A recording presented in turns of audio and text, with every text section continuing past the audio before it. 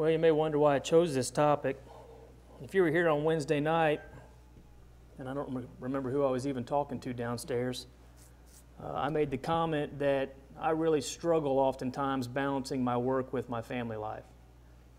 And so I kind of thought to myself, if maybe there's some areas that I don't have all figured out or that I'm constantly working on, maybe there's somebody else here who struggles with the exact same things.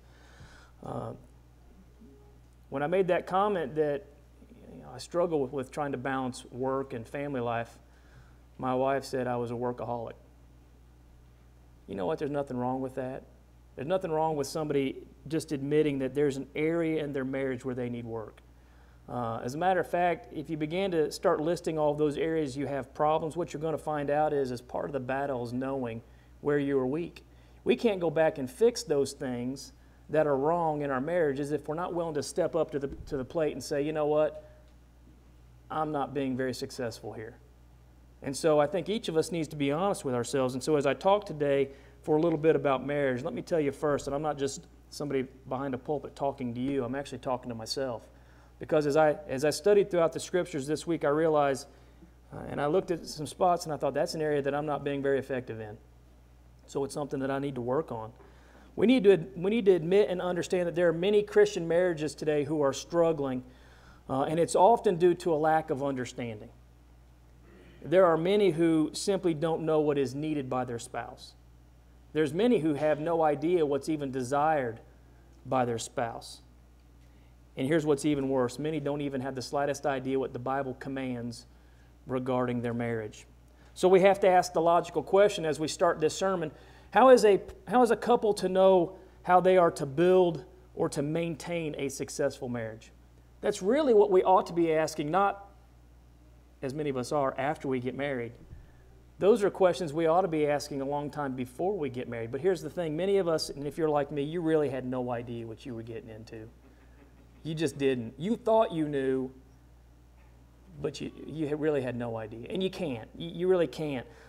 But I think we can try to solve some of those problems for those who haven't gotten there yet, and we can go back and try to correct some of those problems for those who are already there trying to figure out how to fix it. We probably ought to also admit that most of us probably didn't see the ideal marriage modeled in front of us. Now, we may have seen our parents do a lot of things right, but we probably also saw a lot of things done wrong. And because of that, some of us bring in incorrect ideas into the marriage. Uh, from the get go, we have seen examples that really maybe were not biblical patterns. Uh, and oftentimes, it's understandable, right? People do what they've been taught, they do what they've seen take place in front of them. Now, if you were fortunate enough to have that, that perfect set of parents that lived that godly marriage, that's great. Uh, but most of us didn't. Most of us didn't get that. And so we've got to go, we've got to go to the scriptures. Now, whether you're here and, and you don't have a spouse and you're looking for one, or whether you're actually married and whether you're trying to improve or, or to maintain or build your marriage, the Bible has the pattern for us. So I want to talk a little bit about building a successful marriage. Um, probably some of the youth are sitting here going, Well, I can probably check out on this one because this really doesn't have anything to do with me. You're totally wrong. This, this is probably one of the most important sermons you're going to hear right now. I want you to remember that your spouse is going to come from all of the people that you surround yourself with. It's just logic. Now, you're not going to find that perfect Christian person uh, in a, bunch of, a whole bunch of other people that aren't living like Christians. And so that's the first thing you need to think about. And I know that, that many of you young ladies are probably dreaming about your Prince Charming. But if you're trying to find that perfect man, let me tell you this did you know that the most romantic thing that a man can do for you is to treat you like a sister in Christ before you're married and then treat you like a sister in Christ after you're married? And I'm sure you young men also are, are trying to pursue somebody, but I want you to remember this. You need to pursue a lady who's following after Christ. Because if you find a woman who's, who's following after Christ, I assure you, you're both going to be on the same path, going to the same place. Now, I want you to remember one more thing, because many of you probably are currently dating. So let's make this very clear. You need to be very selective about who you spend your time with because dating is very similar to going to the grocery store without any money. and what I mean by that is, is what I mean by that is, is you're either going to leave unhappy or you're going to take something that doesn't belong to you. And you need to think about that. And so you need to be very selective. Now, with that being said, Uh, those who are not married, they need to choose the right, the right mate. They need to find the correct spouse. So you ought to be asking yourself, what kind of spouse should I even be looking for? Does the Bible really address it? I preached a sermon on this some time ago. Uh, the Bible very clearly tells us who we ought to marry. Listen to 2 Corinthians 6.14. Be ye not unequally yoked together with unbelievers. For what fellowship hath righteousness with unrighteousness? And what communion hath light with darkness? Now you go back and you look at this word communion. It says, What communion hath light with darkness? We're talking about Christians and non Christians. There, there is no stronger partnership than that of marriage. And so, very clearly, we understand that, that Christians are not to be yoked to non Christians in intimate relationships. It's not to take place. And we understand it logically. Now, if you grew up, uh, and to be honest, most people don't farm like this, but if you grew up in the farm area, you knew a little bit more about yoking. You see, you don't yoke two unlike animals. You don't put an ox next to a, to a donkey, right? Because what happens is, is the, the two animals, they cause that, that yoke to be offset, and it rubs against them and it causes wounds, and one of them has to work really hard to keep in a straight line, right? Because one of them's pulling them off, the other one's trying to keep straight. When you yoke a Christian to a non Christian, they rub each other the wrong way. And one of them has to work extra hard to try to keep that marriage in line. It makes perfect sense why we're told not to be yoked to non believers in an intimate relationship. Here's the point you need to marry a faithful Christian. Now, many people get this idea that, that romance or, or physical attraction uh, is what it, a marriage is all about. Um, and in doing so, they oftentimes forget about what makes a good spouse. Okay? Uh, don't get me wrong, attraction is important, especially for your young people. Attraction is important, but I want you to remember this. When you get 70 years old and your spouse has wrinkles all over, you're going to look at them wrinkles a whole lot differently uh, because there's a lot of wisdom and a lot of trial that cause those wrinkles. And so you need to remember that, that although attraction is important, don't get me wrong, you need to be asking yourself some basic questions. Is this person going to help me get to heaven or are they going to hinder me? That's a basic question that needs to be asked. And just because you're infatuated with somebody doesn't mean that they're going to make a good spouse. It doesn't mean that they're going to make a good mom. It doesn't mean that they're going to make a good dad. We need to ask those basic questions as we're looking for a spouse. And we need to remember that every one of our choices is governed by reason, right? We are creatures of choice. And so, our lives are the products of all the choices that we make. And I'm going to tell you, if you choose wrong here, it doesn't just affect you. It affects your spouse, it affects your spouse's family, it affects your family, it even affects if you have children. Now, you may have never thought about this for those of you who aren't married, but I want you to think about it now. You should. You want your children to go to heaven? Probably never thought about that, had you? you better find a spouse that wants their children to go to heaven. Because if you don't, there could be a lot of problems. A lot of problems in a marriage come when one spouse is trying to get to heaven and the other is not. And I want you to remember this if you can't convert somebody to Christianity before you get married, they may convert you to the world after you get married. That's happened quite often. Another thing we need to talk about before we actually get to marriage is remaining pure until marriage. The Bible makes this very clear. Uh, a Christian is to remain faithful to their spouse even when they don't have one yet. Right? I want you to think about that for a second. Listen to what Paul writes in 1 Corinthians 7 2. Nevertheless, to avoid fornication, let every man have his own wife, and let every woman have her own husband. The only way for one to avoid fornication is to be married uh, when they're involved in physical activities. And so that means prior to marriage, you need to be pure, okay? Um, that Greek word, let me, let me address it for a second. I'm going to be very careful here. The Greek word here, where it says, nevertheless, to avoid fornication, and it goes on and tells you to be married, there are a lot of people who try to take that word and say that word means this or that word means that. I'm not going to cover that word here, but I'll tell, I'll tell you this. Don't let, don't let people say that word covers this and that. That word covers everything that I don't want to have to say from the pulpit here. Okay? So, if you're trying to get around that word there, there's no way of getting around it. Anything that, that can't be done out in public is probably included in that without me having to go into a lot more detail for the youth here. Uh, every one of those things that I don't want to have to say from the pulpit, that's reserved only for your spouse. There's nothing wrong with any of those things as long as they're in marriage. Hebrews 13, 4. Marriage is honorable in all, and the bed undefiled, but whoremongers and adulterers God will judge. Now, the world's going to tell you this is old fashioned. I'm going to tell you it's just purely biblical. It's not old fashioned. That's what the Bible talks about. And there's a bunch of reasons behind it. Now, let me say this some remain pure and some don't. But I will tell you, statistics show that if you remain pure until you get married, your marriage has a much higher success uh, rate. Okay? There's no, there's no way to get around those facts, okay? Remaining pure also protects you from a whole host of consequences that you're not ready to face. Not only are you not ready to face them, you don't want to.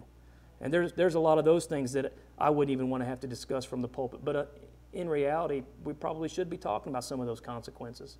You, as youth, remember you can avoid a whole lot of problems by just doing it God's way. Now, let me say this very quickly. Because I'm telling you how you ought to do it, but let me acknowledge some of you may have already messed this up. I hope you, I hope you haven't. But God can and will forgive you when you're willing to repent of it. But your job from now on is to, is to be pure. Uh, I don't need you to come tell me if you messed it up. What I need you to do is straighten it up and fix it with God. And, the, and I'm not just telling you this, I tell this to every people I sit down with as a couple who are married, and I say, I don't want to know what you're doing, but I know you need to be pure. So if you're doing anything you ought not to be doing, you best stop it now. And usually their mouth kind of drops and they put their heads down. I don't want you guys to have to do that. Okay? Uh, for those of you who've determined you're going to you're gonna be faithful until you get married, I'm going to I'm gonna tell you, I applaud you. And the world's going to tell you you're missing out, but I assure you, your Christian spouse, they're going to thank you. So let me move on now to actually getting married once we find that spouse. Most of you are familiar with Genesis 3:24. Therefore shall a man leave his father and his mother, and he shall cleave unto his wife, and they shall be one flesh. For those of you who are married, I want you to think for just a second right now. If that's not happening, there's a problem. So much so that Jesus goes back and he reiterates this in Matthew 19, 5 through 6. And he said, For this cause shall man leave father and mother, and shall cleave to his wife, and they twain shall be one flesh. Wherefore they are no more twain, but one flesh. And what therefore God hath joined together, let not man put asunder. God's to be the head of the marriage from the very beginning. But the husband and wife are to be so intimate, both, both physically and emotionally. He goes on and he describes them as one flesh. Now, the husband is told to cleave. and not a word that we, we study a lot, although when I, I mention it, I always try to go back and describe you that that word means to be glued together. It means to be knit together. Any of you guys have a knit sweater? It's hard to unravel that, but but with that being said, let me tell you this even the, even the best knit sweater occasionally needs a mend job. I've had knit sweaters get a hole in it, but I tell you what, you can go back and you can fix it. The idea of that word cleave is that nothing's going to be able to dismantle, nothing's going to be able to pull apart this relationship that you have, okay, this marriage bond. When, I say when, you're faithful to God and to each other. If you're faithful to God and you're faithful to each other and you are knit together like you're supposed to be, the world's not going to come in and pull that apart. But unfortunately, we do find where the world does come in and pull that apart, and it comes in many different forms of temptations. This word cleave is the exact same word which shows our commitment to God and Christ. But doesn't the world sometimes come in and cause us to leave that commitment? It does it both for Christians in their commitment to God and Christ, and it also does it oftentimes in regard to their marriage. Acts 11 23 says, Who, when he came and had seen the grace of God, was glad and exhorted them all that with the purpose of heart they would cleave unto the Lord. You're supposed to cleave to your spouse like that, right? If you are cleaving to, to your spouse the way you ought to be cleaving to God and the Lord, I assure you nobody's going to come in and tear that marriage apart. But when a marriage comes apart, somebody, somebody has messed up somewhere, right? Somewhere there is sin involved. Now, uh, unfortunately, what we see on TV is not normally good examples, right? How often do you see a fully functional marriage on TV nowadays? Can anybody remember seeing a fully? Fu- if I were to go back and think about all the sitcoms and shows I've watched, and I'll be honest, I think the last functional marriage that I recall seeing may have been in the Cosby Show. Is that maybe the last one that was a decent marriage that seemed where everything was set up the way it ought to be set up? Usually the husband's the butt of the joke, right? That's how marriages are portrayed on TV today. Uh, and, and divorce is portrayed as, hey, it's no big deal. It's so common. We hit a rough patch, so you know what? Let's just chuck it and go the other way. That's not what the Bible teaches us. Um, divorce should never be considered an option uh, when things are going bad. With that being said, though, let's understand there are situations such as infidelity that can break the marriage bond. But that's the only, that's the only example you have, or the, the only time you're allowed to leave a spouse uh, is because of that. You'll find that in Matthew 19, 1 through 9, Matthew 5, 32, and a host of other verses. Okay? So, if you're thinking about leaving a spouse, which I don't assume anyone here is, but if you're thinking about leaving a spouse and infidelity is not involved, somewhere sin has entered into your marriage. Somewhere. Because that is never an option. Now, as I was thinking about this sermon, somebody had told me the account of newlyweds. This might ring a bell for some of you that are married. They've been married about a month or so, and they got into an argument. I mean, a drop down, slug it out argument. And she called her dad, she called her mom. Her mom answered first, and she said, You know, this guy's a, he's a jerk. And she was complaining, and her mom's listening to her, and her mom said, Let me put your dad on the phone. So dad got on the phone, and she went on complaining and telling about this argument that they had, and she said, I want to come home. And the father said, You're exactly right. You need to be at home. But guess what? that's where you are. Okay? You're at home right now. That's where you need to be, so you best find a way to fix it. Okay? Spouses that cleave never leave. And I don't care how bad the argument is, that's never an option. And I'm going to tell you something else when you get married, it doesn't matter if you guys have an argument like that, you always tell your children, listen, sometimes mommies and daddies, we're going to argue. But mommies and daddies never leave. They need, to, they need to hear that from a very little age so when they see you argue, if you argue, that's already put out of their mind. Uh, nobody wants to grow up wondering and, and fearing that their parents may separate. I'm talking about Christian parents that are trying to do the right thing. You know, that's something you can take away real quick. And I'm going to assure you, though, when, when parents are trying to live according to the Bible, I don't care how bad it gets, uh, they can fix those problems. So, one of the things we've got to do is we've got to cleave to each other. We have to be knit and glued together. We have to demonstrate that for our children so they can, one, grow up knowing how a, how a marriage ought to interact, but two, that takes away the fear of, of them ever losing a parent, okay? Listen to Ecclesiastes 4:12. Most of you probably have heard this verse. And if one prevail against him, two shall withstand him, and a threefold cord is not quickly broken. That threefold cord in your marriage God, a faithful wife, and a faithful husband. All wrapped up together, right? When one of those cords gets broke, there's a serious problem. And it needs to be fixed. But it can be when spouses are trying to live according to God's plan. So let me spend a few minutes talking about that. I'm going to tell you each of these points, I could have covered a whole lot more material than we're going to be able to today. But let's talk a little bit about God's plan for the family. God has a plan for all husbands. Listen to Ephesians 5:25. I'm going to spend a little bit of time here in Ephesians and in Colossians. Husbands, love your wives even as Christ also loved the church and gave himself for it. Husbands are the spiritual leaders of the family, okay? Man, you need to understand something. You are the catalyst both for love and for biblical direction in the marriage.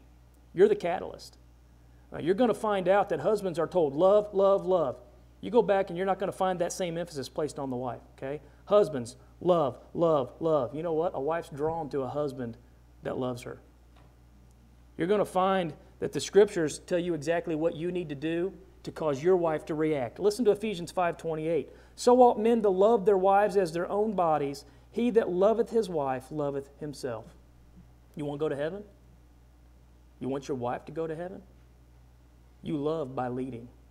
That is the only way your wife and you and your children are going to have the best shot of going to heaven is if you love by leading. Listen to Colossians 3:19. Husbands, love your wives and be not bitter against them. You see a pattern going on here when he talks to husbands? Why is the emphasis on husbands to love? The reason is is because that's how, our, that's how our wives are built. Our wives will love us in return if we will just love them first. I go back and I think about Christ. He loved first, didn't he? When they didn't love him. When, when they were treating him harshly, he loved them. Uh, when, when things seemed to be at their worst for him, and yet he still loved them. And I'll be honest with you, um, I think most of us struggle here, don't we? When things are at their worst, is love what you're thinking? It's really, it's usually how can I get that zinger in in that argument that we're having, right? How can I think up the meanest thing that I can say to them to really just get them? Let's just be honest. That's what we do. Now, as Christians, we'd say, oh, no, I don't do that. Yeah, you do. You do it. I know you do it, and I've done it too.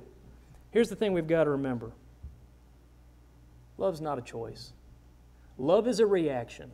We choose to love or we don't choose to love. Those are the only two options, right? There's no such thing. How many people have heard I, I fell out of love with him?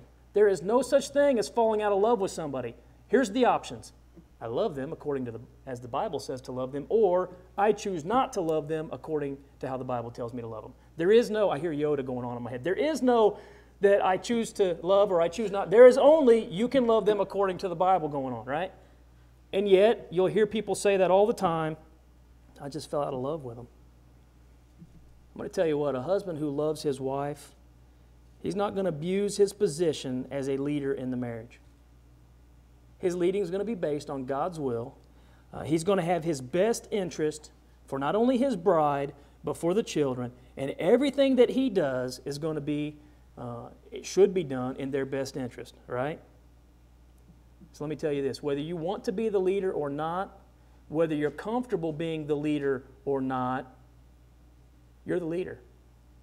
No ifs, ands, or buts. If you're not comfortable with it, start getting comfortable with it. You have no other choice. You are the leader. And if you're not leading, you're going to have to step up, all right? As a matter of fact, she wants you to lead. She needs you to lead. She needs you to be the one who steps out front and leads. And I'm going to tell you why. Because that's how God designed it. She expects and wants you to be the leader. Now, there may be a, a woman here who's married who says, you know what, I, I don't need my husband to lead to feel safe and secure. The last time you heard that noise in your house at 2 o'clock in the morning, who got up?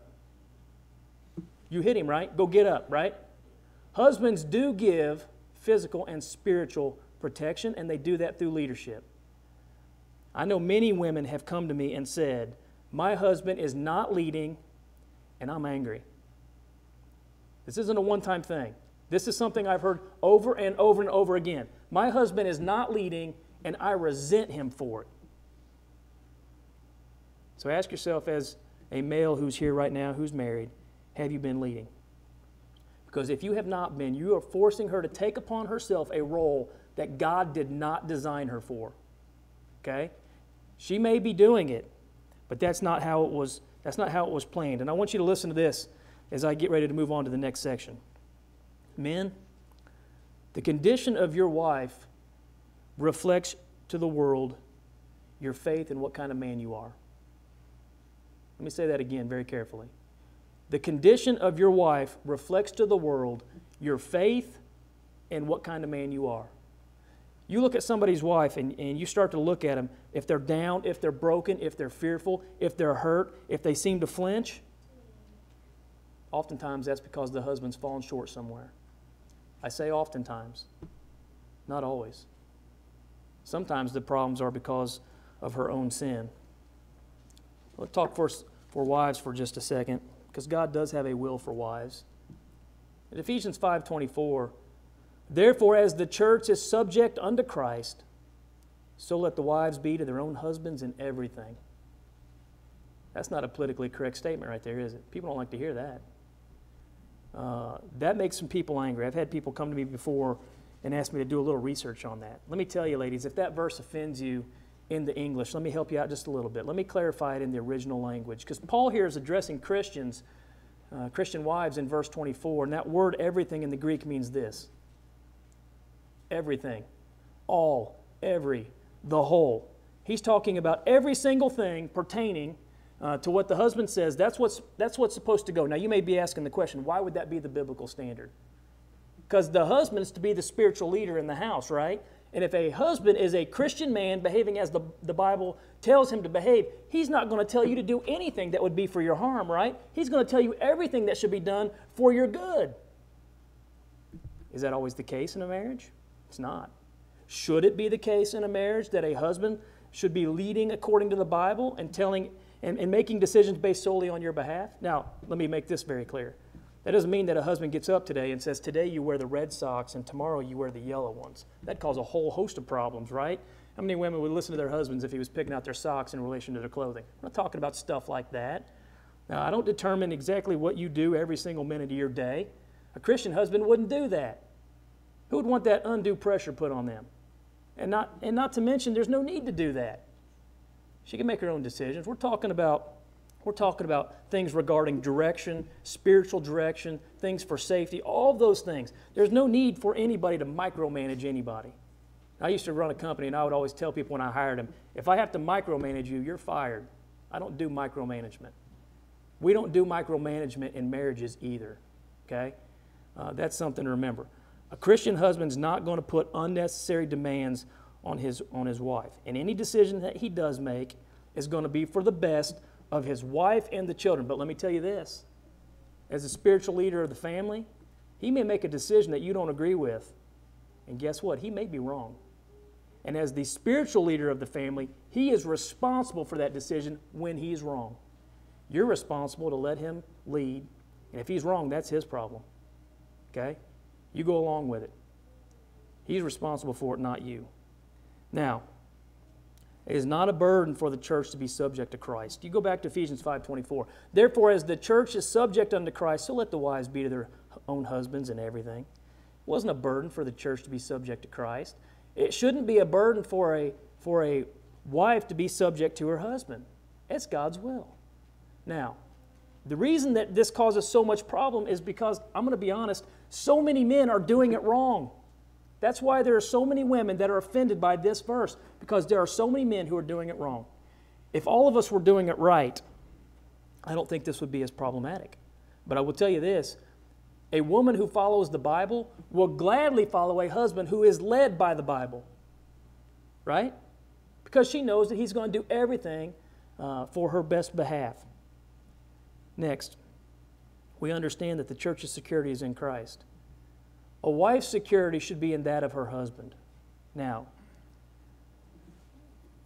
let me address something else here because I, I know I've seen this take place before. It doesn't matter if your wife is the CEO of a Fortune 500 company and you have the lowliest, most pathetic job in the community. When you come home, God's pattern takes over. Okay? Roles are reversed. I don't care if she's the President of the United States and you clean the toilets for the President of the United States. When you come home, the pattern for the home takes over. We need to remember that, that the husband is to be uh, the spiritual leader at the home. Now, some will ask this question What if my husband doesn't make decisions based on the Bible? Does anybody know somebody that does that? It happens. Most of us have heard the examples of, of the, the Christian lady whose husband said, You know what, you ain't going to church. You're not going to church. Well, first let me say that it's a shame that that stuff does happen, okay? Your question may be then, well, what do I do? Listen to Colossians 3:18.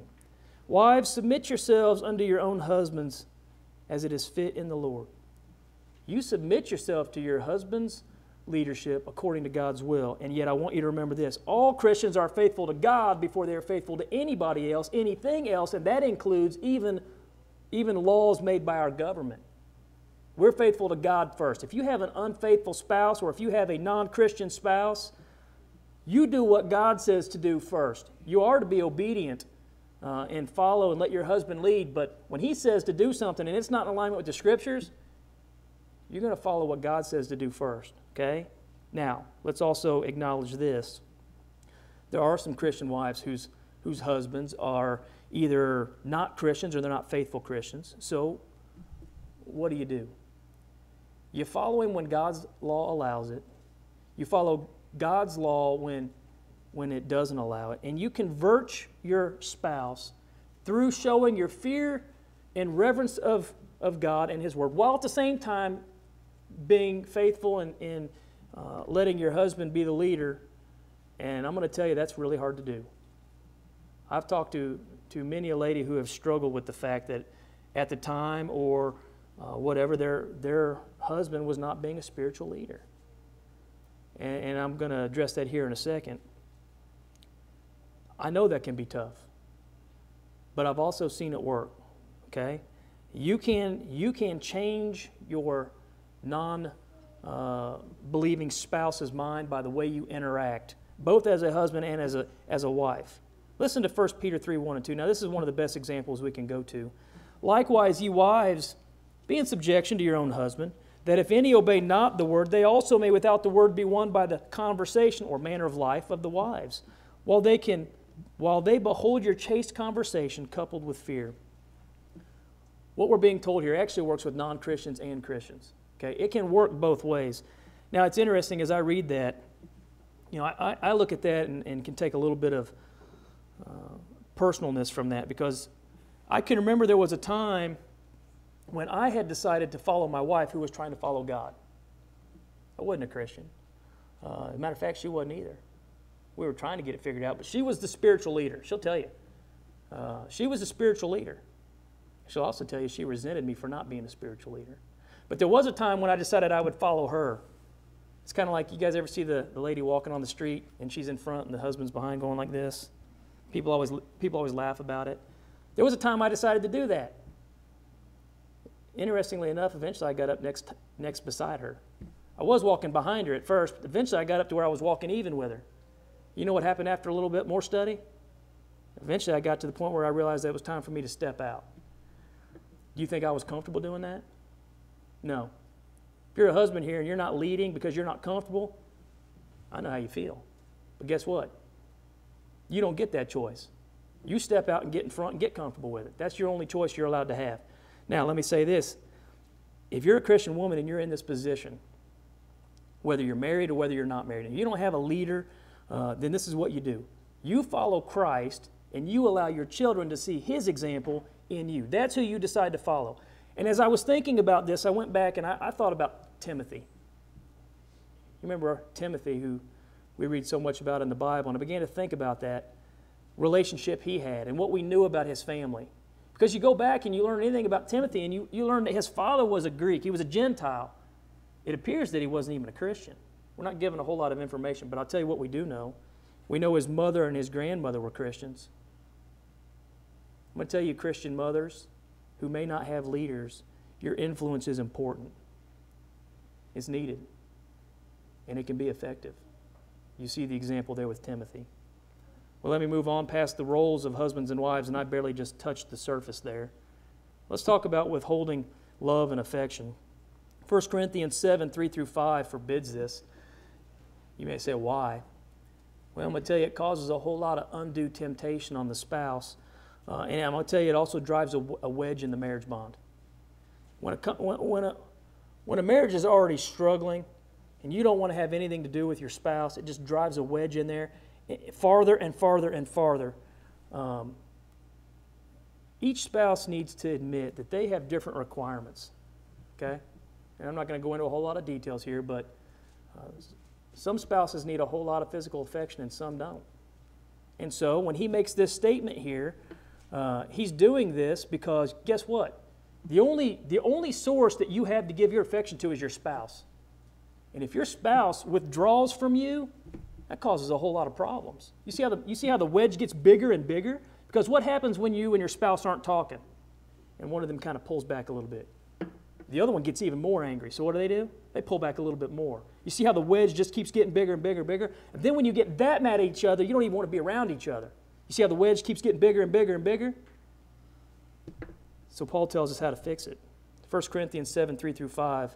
Let the husband render unto the wife due benevolence He's much better at, at wording stuff sometimes than I am. He says, Render unto the wife due benevolence, and likewise also the wife unto the husband. The wife hath not power of her own body, but the husband, and likewise also the husband hath not power of his own body, but the wife. Defraud ye not one the other, except it be with consent for a time, that ye may give yourselves to fasting and prayer and come together again, that Satan tempt you not for your incontinency. He says, you know what? Don't be defrauding your spouse. Now, that word defraud means to withhold yourself. He's talking about husbands and wives. This command is for both husbands and wives. Like I already, already mentioned, people are different. One spouse may need lots of little hugs and kisses, and the other one may not need any. Okay? You need to get that figured out, and you need to get your schedules on path. That's what he's telling you to do here. And he says, don't withhold yourself at all, except for time of fasting or prayer. let me pause here for a minute.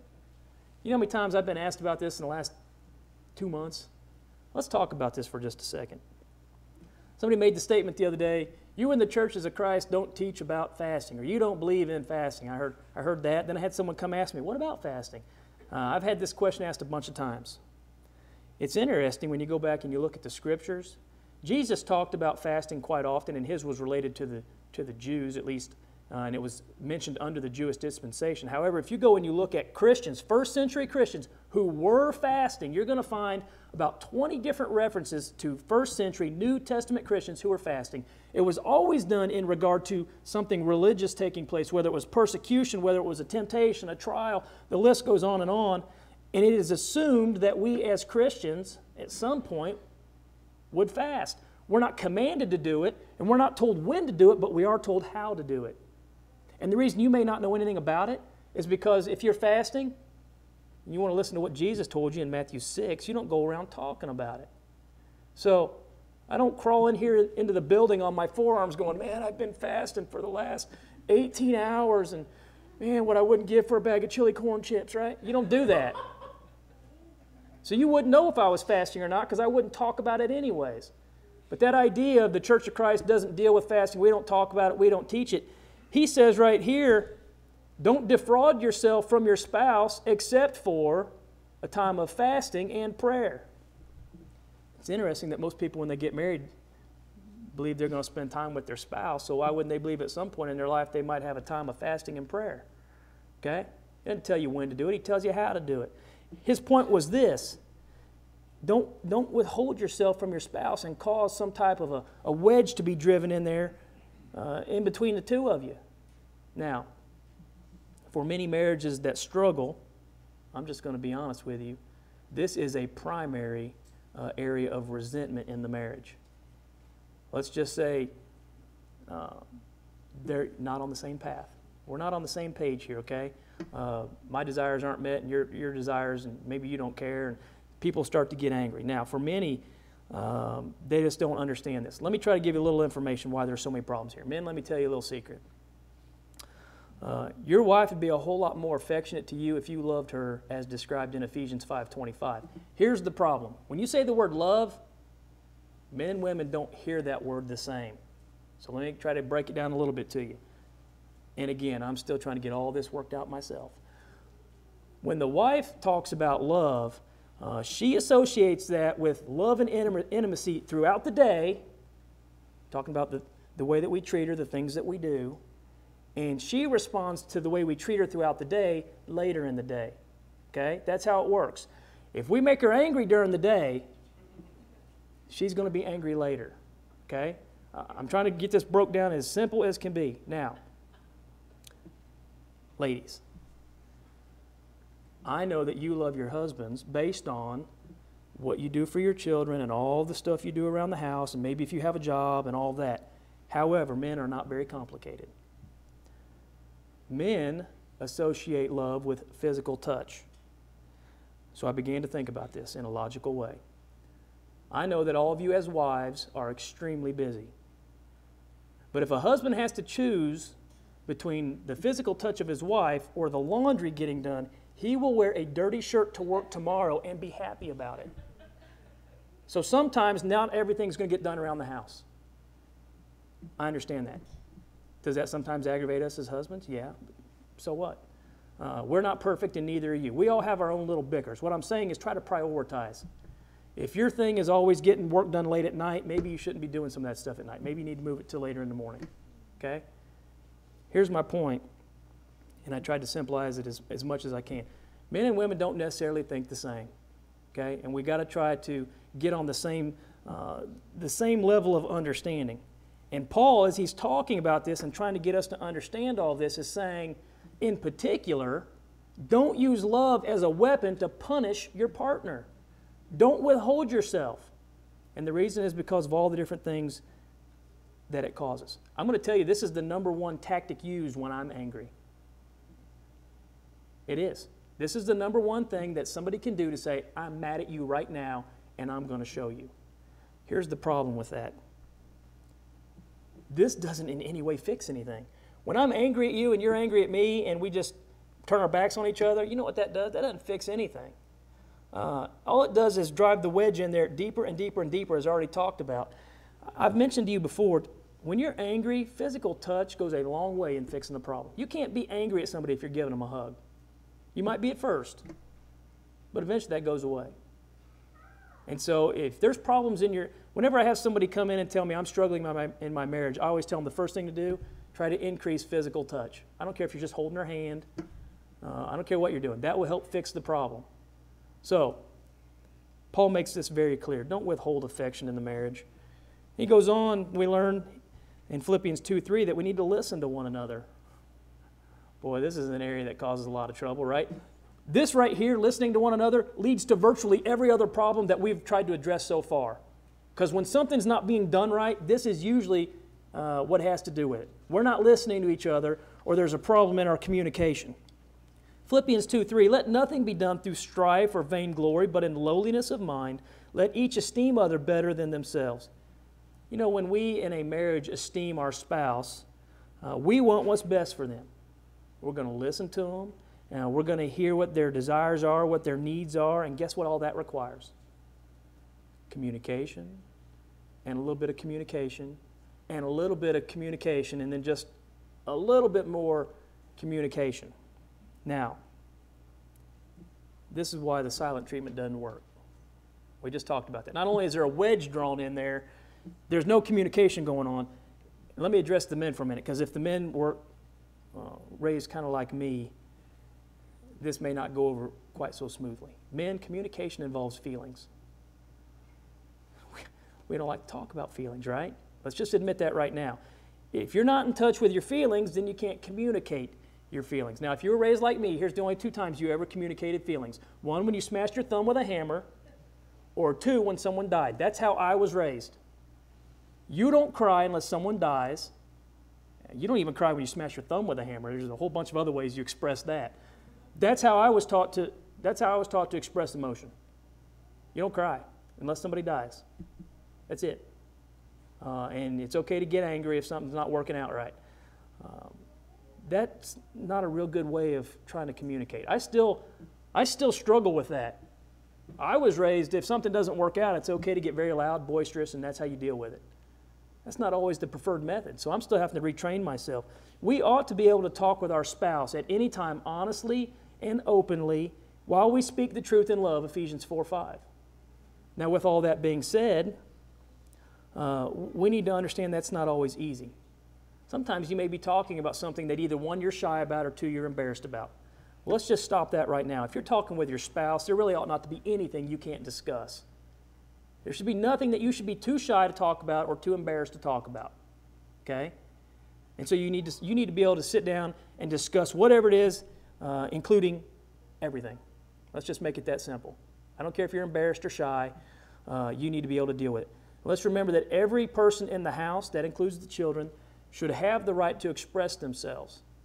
In our house, the way it worked was I was allowed to express myself once. Once I was told to stop, that's when the expressing themselves got stopped. Okay? But everybody should be able to try to express themselves. Even the youth uh, in your house, they should, have the, they should have at least one opportunity. I may get a point where you say that's not right or stop.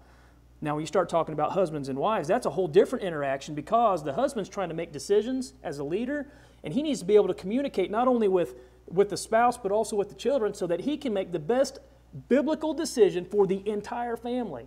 I'm not saying you'll like his decision, but he needs everyone's input to make that decision. That, that again involves communication. With all that being said, and this is especially important for us as men, I want you to remember this sometimes thinking is better than speaking. And we covered this, I think, just a few, this weekend. Listen to Proverbs 17 28. Even a fool, when he holdeth his peace, is counted wise, and he that shutteth his lips is esteemed a man of understanding. Listening is important, okay? It's extremely important.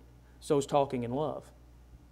So is knowing when you shouldn't say anything at all. There are times when the idea pops in your head and unfortunately, what often happens is it just comes out. Especially in marriage, what we need to remember is, is when it goes in, we ask ourselves, we filter it and go, is this going to help or is this going to hurt? Maybe I have no reason to even bring that up. I'll just not talk about that. There's no reason to even get that going, okay? Sometimes that is what needs to be done. Just because I think it doesn't mean I need to say it.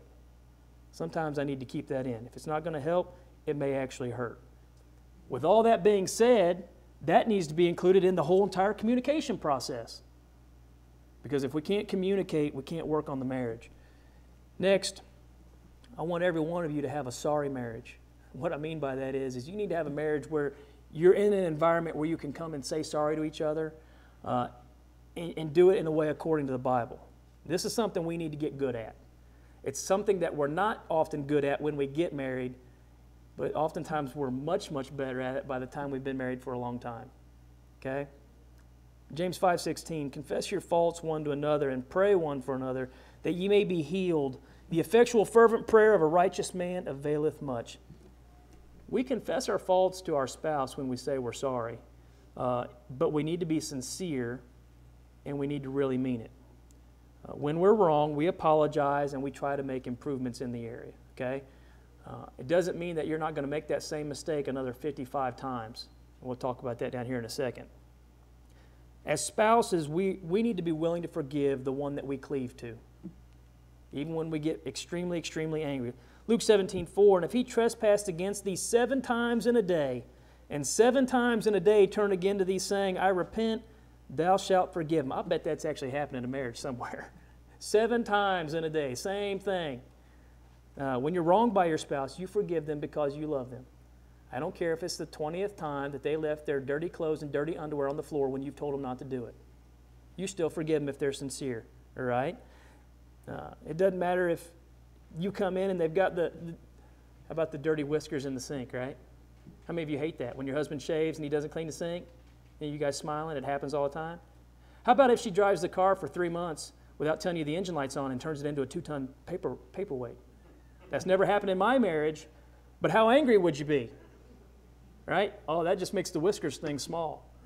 Well, Matthew 18, 21 through 22, if she comes home and the, the car's now a two ton paperweight because the engine light's been on for two weeks, or uh, if he's done, if, he's, if he washed your favorite clothes and then he dried it in the dryer instead of hanging them up and now none of them fit, what do you do? Then came Peter to him and said, Lord, how often shall my brother sin against me and I forgive, forgive him? Till seven times? And Jesus saith unto him, I say not unto thee until seven times, but until 70 times 7. You're going to hit that 490 mark at some point in a faithful marriage. It's going to happen. It may happen at the 18 year mark, may happen at the 2 year mark for some marriages, but it may also happen much later in life. But you're going to hit that mark at some point. So what do you do when you hit the number? Because I actually remember a guy in class going, So what happens when you hit 491? You continue to forgive when they sincerely repent. All right? Uh, here's the other thing. I'm going to bring this up real quick, and then I'm going to move on when one of the spouses messes up, and I don't care, we just talked about sin, how all sin's equal, okay? Consequences are not, but sin's equal.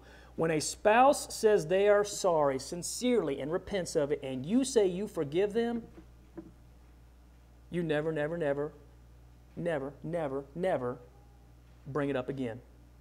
Because if you continue to bring it up in your next argument, you didn't actually forgive them. They may have sincerely repented of it, but if every time you argue, you go, oh, yeah, well, what about? You didn't forgive them. So if you sincerely forgive your spouse when they sin and mess up, and they sincerely repent, you don't bring it up ever again. Okay? That's going to go a long way in solving problems. Next, you need to help your spouse and your family go to heaven.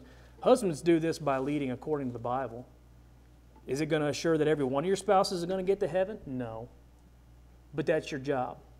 Your job is to create an atmosphere where your wife is in a better position to be faithful, where your children are in a better position to be faithful. That is your, that's your most important thing that you can do. I'm going to tell you, I, I because I started off telling you, I, I have a problem with balancing work uh, and family life. And I know a lot of preachers who have lost their families while they were trying to save others. So I struggle with that because I'm not doing well there. We, as Christian husbands, our main priority is to get our families to heaven. Okay? Nothing's to come in the way of that. With that being said, we also don't want any of our other family members, extended family, to, to go uh, to go to hell. We want them to be saved. We also want our neighbors to be saved, right? Th- this continues to just branch out from our family. Our focus is our family, but it branches out to, to the next door neighbors and everybody else. Well, here's the point if we're living a Christian life, we're going to be different than the world. Listen to 1 Peter 2 9. but ye are a chosen generation, a royal priesthood, and holy nation, a peculiar people, that ye should show forth the praises of him who hath called you out of darkness into his marvelous light. As spouses, have you been called out of the world? Do people look at you and say, that's the way that that's the way Christian marriage ought to be? Uh, are you different than everyone else? Are you faithful in attendance? Are you faithful in the work for the Lord? Are you trying to teach other people how to come to Christ? I'm going to tell you if your marriage is struggling, sin has infiltrated somewhere. And I couldn't have covered all of the areas today there are some ways you can fix that. Uh, you, need to be, you need to be praying together and studying the Bible together, especially if you're having a disagreement on something based around the Bible itself. What better place to fix it than going to the Bible itself? If you're not happy with the way things are going, you need to be going to the scriptures and saying, This is how we're supposed to fix it. Spouses who cleave never leave. Okay? You've got to get that figured out. The only way to, to fix those problems is to go to the scriptures. Now, we'll go back to Psalms 127 1. Except the Lord build the house, they labor in vain that build it. Except the Lord keep the city, the watchman waketh but in vain. You can build a house that's going to serve the Lord, but you're going to have to do it according to the pattern. We have patterns all throughout uh, the world that we live in, right? There was a pattern used to build your physical house. There was a pattern used to make the clothes that we wear. There was a pattern used to, to make the cars that we drive around. There is a pattern set forth to guide our marriage, and that's the Bible. You want your marriage to be good? It can be. You need to be using the pattern of the Bible. I want you each to ask yourself are you willing to work? Are you willing to sacrifice? Are you willing to love? Are you willing to endure through all the trials? Are you willing to repent when you've messed up? Are you willing to forgive the one who's repented when they've messed up? You start to put all that into action, and I, I assure you, your marriage can be good. But I'm going to tell you what, if you want to have a effective marriage, you want to be effective in the kingdom, none of that's ever going to happen until you become a Christian. Until you become a Christian according to the Word of God and then live faithful according to the Word of God. It's very simple. Uh, you need to believe that Jesus Christ was the Son of God, that He was the Messiah, and that He came and He shed His blood so that you would have the hope of forgiveness of sins. Hebrews 11, 6. And because you understand that, you're more than excited to repent of your sins. Luke 13, 3 and Acts 17, 30. You're more than excited to confess the name of Christ. Romans 10, 9 and 10, Matthew 10, 32 and 33. And you are more than excited to be baptized by immersion for the remission of sins. Mark 16, 16. All so that you can come into contact with the blood of Christ, Romans 6, 3 and 4. But it's not enough. You've got to be faithful afterwards. And I'm going to tell you, for those of us who are married, almost all of that we're talking about pertaining faithfulness, it's somehow tied into our marriage. If our marriage is not effective, then something is infiltrated into our marriage and is slowly drawing us away. It could be people that we're associated with that we ought not to be associated with. It could be practices we're associated with that we ought not to be with. The list goes on and on. But I assure you, if you go back to the Word of God and you rely on what He said, I guarantee your marriage will be fixed. And if your marriage isn't that bad right now, I'll tell you, if you go back to the Word of God and continue to improve on it, it's going to get better. And that's what I hope for this congregation is that each of us will strive, starting with this new time of the year, to build our marriages, to make them better, to make them stronger. You know why? Because let's just admit that not everybody in the congregation at, at the exact same time is having a great marriage. So who do they go to for support? Other Christians. It's our job as other Christians to help other Christians. We have our struggles, and so do they. We need to rely on each other. If you're here today and you're not a Christian, please don't leave without being baptized and talking to me. If you're here and, and you're struggling in any way, maybe in your marriage, maybe in some other way, we want to pray for you. Uh, and you can make that known as we stand and sing a song of invitation.